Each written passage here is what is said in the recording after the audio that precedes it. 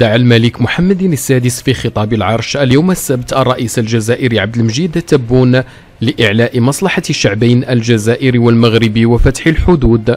وأضاف الملك محمد السادس إننا نجدد الدعوة الصادقة لأشقائنا في الجزائر للعمل سويا دون شروط من أجل بناء علاقات ثنائية أساسها الثقة والحوار وحسن الجوار. وأضاف جلالته وذلك لأن الوضع الحالي لهذه العلاقات لا يرضينا وليس في مصلحة شعبينا وغير مقبول من طرف العديد من الدول.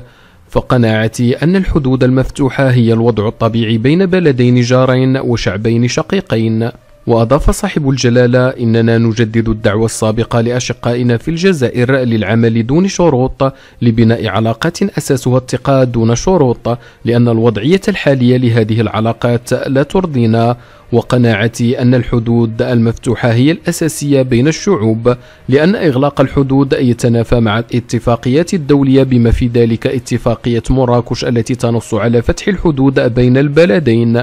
وأوضح المالك أن ما يقوله البعض بأن فتح الحدود لن يجلب للمغرب والجزائر إلا الشر فهو مخالف للواقع لأن أمن الجزائر وشعبها هو أمننا. لذا أدعو فخامة الرئيس للعمل سويا في أقرب وقت ممكن لتطوير العلاقات التي بناها شعبينا. لأشقائنا في الجزائر للعمل سويا دون شروط من أجل بناء علاقات ثنائية أساسها الثقة والحوار وحسن الجوار. ذلك أن الوضع آه لأن الوضع الحالي لهذه العلاقات لا يرضينا وليس في مصلحة شعبنا وغير مقبولة من طرف العديد من الدول. فقناعتي أن الحدود المفتوحة هي الوضع الطبيعي بين بلدين جارين شعبين شقيقين.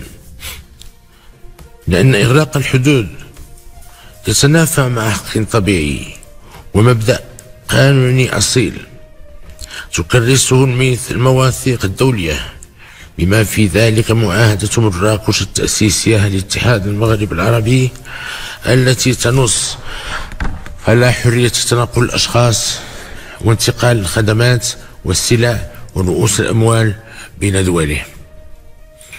وقد عبرت على ذلك صراحة منذ 2008 وأكدت عليه عدة مرات